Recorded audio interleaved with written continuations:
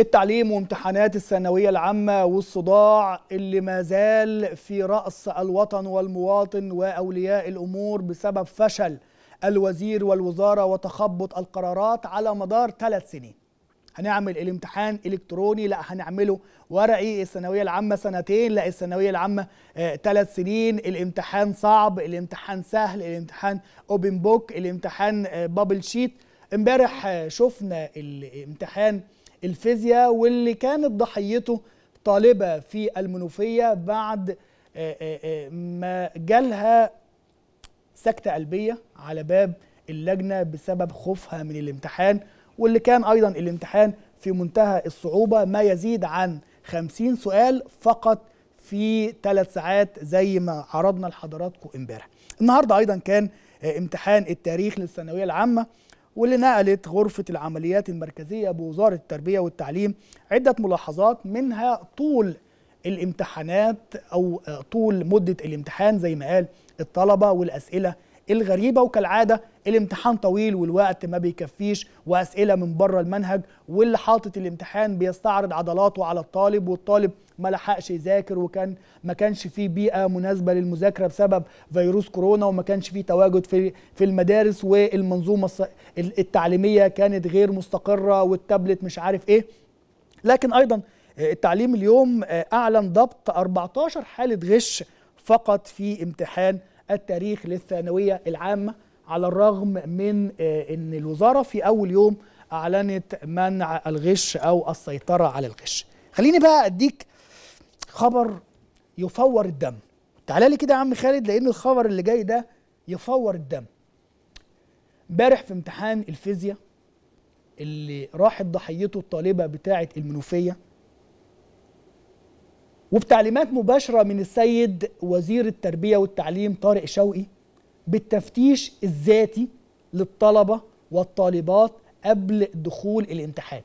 فاكر أو فاكر الصور اللي كان بينشرها البعض من طريقة التفتيش المهينة اللي بيتعرض لها بناتنا في الشوارع والطرقات على يد الرجال الأمن والمخبرين وامناء الشرطة؟ معانا أعتقد الصور دي يا عبد الرحمن الطريقة اللي كان بيتفتش بيها بناتنا وعمليات التحرش ويعني البلطجة اللي بيتبعها الأمن المصري ضد البنات والسيدات في الشوارع بحجة التفتيش وبحجة جيبي موبايلك أبص عليه وبحجة أنت مين ورايحة فين ومعاكي إيه وهاتي بطاقتك وايه في جيوبك واسمك إيه. نفس اللي بيحصل في الشوارع النهارده اتنقل أو انتقل إلى المدارس ولجان الامتحان.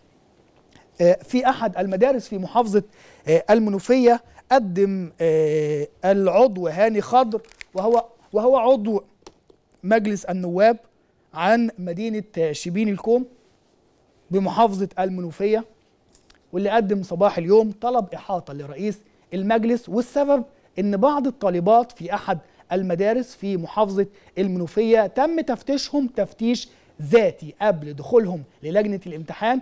وتم أيضا الوصول إلى بعض الأماكن أو لمسهم في بعض الأماكن الحساسة في الجسم. والدة أحد أو سيدة ولية أمر إحدى الطالبات في الثانوية العامة قالت أن أحد المدرسات قامت بناء على أمر من وزير التعليم ووكيل الوزارة في المنوفية بتفتيش بنتها ذاتيا ولمسها في أماكن حساسة ما أدى إلى تأثر الطالبة وعدد من الطالبات سلبيا بهذه الواقعة. السؤال النهارده إيه أنت عايز إيه من الطلبة؟ أنت بتعمل كده ليه في ولادنا؟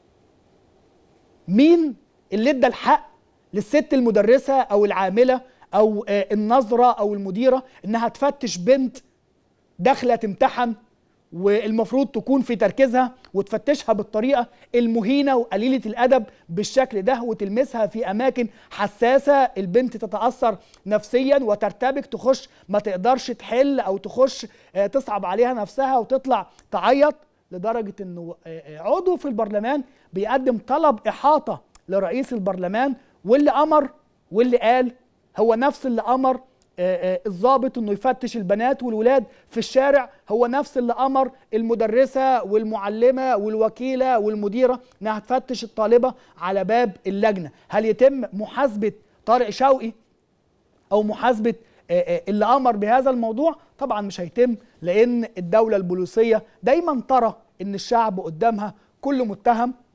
في أول رد لوزارة التربية والتعليم في المنوفية قالت أصل إحنا خايفين من الغش. طب أنتوا كده منعتوا الغش؟ النهارده بس 14 حالة تم ضبطها وأكيد في مئات أو آلاف الحالات لم يتم ضبطهم.